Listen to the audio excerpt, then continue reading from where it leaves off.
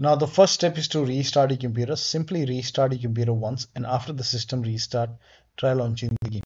Still not working. The next step is to run the game as an administrator from the game installation folder. So make a right click on the game and then select manage then click on browse local files. It will take you to the game installation folder. Now open the game folder and then find the game exe file. So let me check.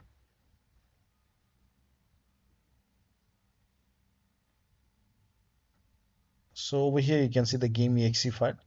Make a right click on the game exe file and then select properties and then go to the second tab and then put a check on the box which says run this program as an administrator. Hit apply, click on OK and then launch the game from here. So make a double click over here. So instead of launching the game from the Steam, you can try to launch the game from the game installation folder and then check. So the game is opening in my case. Now let me close the game. Now still you're facing the problem then make a right click and then select properties. And then this time put a check on the box which says run this program over here and select Windows 8 hit apply. And then click on OK. Still facing the problem then again make a right click select properties and this time put a check on select Windows 7 select Windows 7 over here hit apply click on OK and then check if that does not work. Again put a check over here which says disable full screen optimization. Apply OK and then make a double click launch the game. Still not working. In that case you can uncheck all these boxes. So when you put a check if it is not working you can uncheck these boxes and then you can check and now you, you can hit apply click on ok and then follow the next step. Now the next step is to try d3 d11 directx 11 in launch option. So make a right click on the game and then select properties. And in the launch option type in dash d3 d11 and then launch the game and then check still not working. Again make a right click select properties. And this time type in dash dx11 and then launch the game and then check still not working. In that case again make a right click select properties and this time type in dash dx12 and then launch the game and then check. Still not working then uh, go to properties once again and remove this and then follow the next step. Now the next step is to verify the game files. Now this is important so make a right click on the game, select properties, go to the installed files tab and then click on verify integrity of game files. Once the verification is complete, now you can launch the game and then check. Next step is to allow the game exe file to antivirus program. So if you have any third-party antivirus, so allow the game exe file to antivirus program. Now if you're using Windows security, then go to the Windows settings and then go to privacy and security if you have windows 11 if you have windows 10 you will have an option update and security and then click on windows security and then click on virus and threat protection. Scroll down at the end you will see manage ransomware protection click on it then click on allow an app through control folder access click on yes to allow and then click on add an allowed app browse all apps and then go to the game installation folder. So if the game is installed in c drive open c drive program files x86 now open the Steam folder and then open the Steam apps folder. So open Steam and then open Steam apps folder and then open the common folder and then open the Hades 2 folder and then open the ship folder and then select the game exe file and then click on open and check if there is any other exe file or not you can go back and then check in different folder. So that's the only exe file. Now type in control panel in windows search box and then click on control panel. Now click on system and security windows defender firewall. Now click on allow an app or feature through windows defender firewall. Click on change settings in the top click on allow another app click on browse and then again go to the game installation folder and then open the game folder and then open the ship folder select this exe file now click on open and then click on add. In my case the game is already added. So let me check.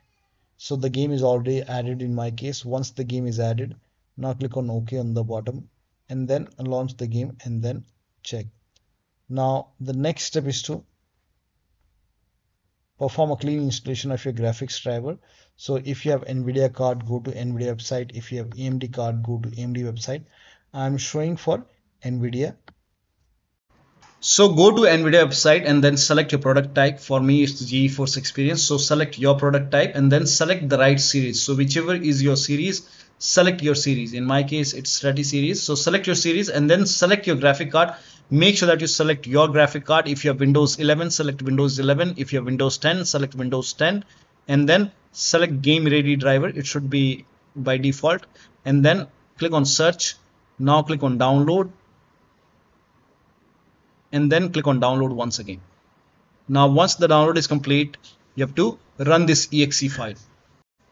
Now once you run the exe file, you will see the screen. Now click on agree and continue and then select custom. Select custom over here and then click on next and then put a check on the box which says perform a clean installation. Make sure that you put a check on perform a clean installation and then click on next and once the clean installation is done now you can restart your computer and after the system restart you can launch the game so make sure that you restart your computer after this and then restart your computer uh, and then launch the game.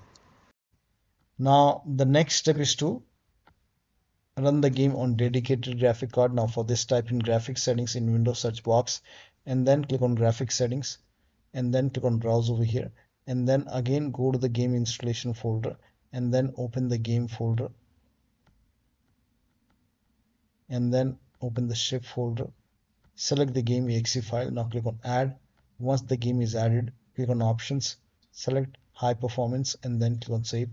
Now launch the game and then check. Next step is to increase the virtual memory. So to increase the virtual memory type in view advanced system settings in windows search box and then click on view advanced system settings and then click on the first settings and then go to advanced tab and then click on change over here. And then select the drive. So uncheck the box which says automatically manage paging file size for all drives. Uncheck this box and select the drive where the game is installed. So select the drive and then once you select the right drive now put a check on custom size. And for initial size it's 1.5 into total RAM. So you can check the total RAM in Windows settings. You can go to system and then go to about and total RAM in my case is 16 gigabyte. So you can calculate accordingly. In my case it's 16 GB. So I will calculate as per 16 GB. So and first of all we have to convert 16 GB into megabyte. So we will open calculator so type in calculator in run box and then click on ok and over here uh, it's 16 1.5 into total ram. Total ram in my case it's 16 ram 16 gb. So 1 16 into 1024 1024 is actually 1 gb is equal to 1024 megabyte. So 16 gb in megabyte will be 16384 into 1.5 1.5 into total RAM. This is my total RAM in megabyte. Now 1.5 into total RAM total RAM that is into 1.5 so in my case initial size is 24576 24576 and maximum size is 3 into total RAM. Now total RAM in my case that is 16 gigabyte. I have 16 gigabyte of RAM. So 16 into 1024 I have converted this in megabyte. Megabyte now that is 3 into total RAM. So total RAM is this much into 3 that is 49152 49152 4915152 now click on set over here. Then click on ok. Okay apply. Okay okay now restart computer make sure that you restart your computer after this now the next step is to install Visual C++ file. Now for this, copy this link. The link is provided in the video description. Open this link in a browser. It will take you to Microsoft website. Scroll down and over here you can see x86 file and x64 file. You have to download both x86 and x64. So click on x86, run this exe file. Now if you see the repair option, click on repair. If you see the install option, click on install, click on yes to allow and let the installation complete. Now download x64 file as well. Again, click on it. Now run this exe file. Now again, if you see the repair option, click on repair. If you see the install option, click on install and let the installation complete. Now once both the installation are complete, let it complete first. Once it is complete, then restart your computer. And after the system restart, launch the game. Now still not working. The next step is to unplug external devices from the computer so if you have these devices connected disconnected also if you have any extra controller connected to the computer dis disconnect additional controller also try launching the game on single monitor if you have any third-party application or services running you can close it from the task manager also if you have any overlay application running close it. First of all disable steam overlay make a right click on the game and then select properties and then turn off the option which says enable the steam overlay while in game. So turn it off. Also if you have any other overlay application running like if you have discord running you can close discord or if you have geforce experience running close it. Also close all the overclocking applications so if you have msi afterburner riva tuner or any other overclocking application close all the overclocking application and then launch the game Next step is to perform clean boot. Now for this type in system configuration in Windows search box and then click on system configuration. Go to the services tab and then put a check on the box which says hide all Microsoft services and then click on disable all. In my case this option is grayed out. I already did it. In your case this would be highlighted. So first of all put a check on hide all Microsoft services first and then click on disable all and then click on apply, click on OK. You will see a restart option restart your computer and then launch the game. Also if you have undervolted your computer remove the undervolt and then launch the game. Also update your windows to the latest version now for this open windows settings. Go to up windows update or update and security and then click on check for update once all the updates are installed then restart your computer and after the system restart try launching the game. Now the next step is to you can skip this step uh, you can skip this step if you're not able to launch the game. But if you're able to launch the game you can switch to window mode and lower down graphics settings. So launch the game first if you're able to launch the game. So go to options and then go to display.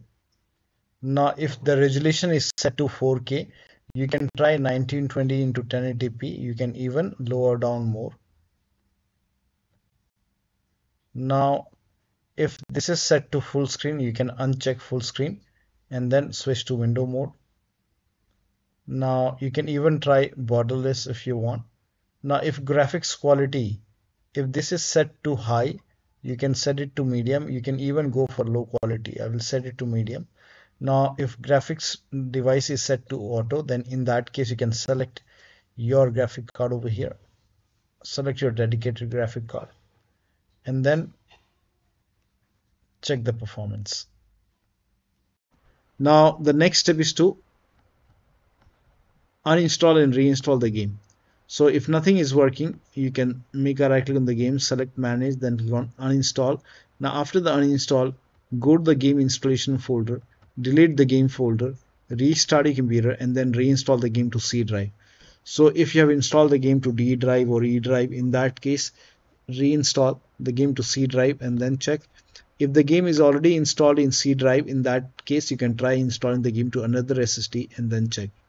So one of the steps shown in this video should help you to get the game running on your Windows computer. So that'll be all. Thank you so much for your time and please like this video and subscribe to my channel.